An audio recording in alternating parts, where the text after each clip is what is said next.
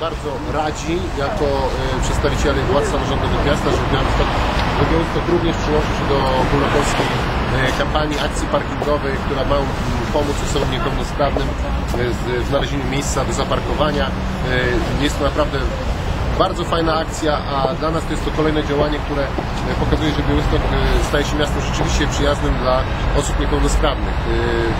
Przygotuje, przygotowaliśmy dzisiaj takie upominki, breloczki e, oraz zapachy dla tych kierowców, którzy właśnie, to jest ciekawe, którzy postępują zgodnie z zasadami, czyli tak parkują, żeby ułatwić osobom niepełnosprawnym znalezienie miejsca, czyli rezerwują miejsc dla osób niepełnosprawnych. Nie karzemy, bo urzędnik karać nie może, urzędnik zachęca do tego, żeby postępować w sposób właściwy. E, To tyle materiału wszystkie, które Państwo e, będziecie chcieli, możecie uzyskać tutaj e, od przedstawicieli departamentu.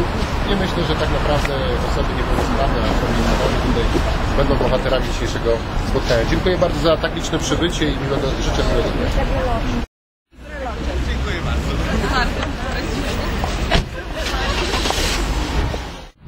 W y, drugi raz przyłączyliśmy się do ogólnopolskiej kampanii parkingowej. W ubiegłym roku pierwszy raz y, miało to miejsce u nas w Białymstoku, dzisiaj kolejny raz. Przypominamy wszystkim y, osobom sprawnym o tym, że oznaczone miejsca koperty odpowiednimi znakami są do parkowania dla osób niepełnosprawnych, do tego uprawnionych.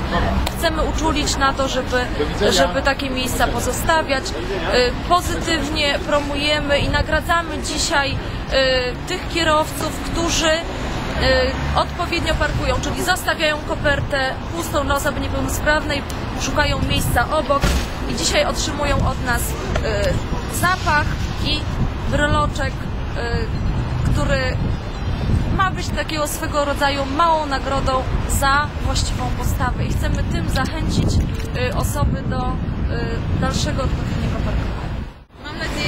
kampania parkingowa otworzy ludziom oczy, z jakimi problemami stykają się na co osoby niepełnosprawne i mam wielką, wielką nadzieję, że ta kampania wypali.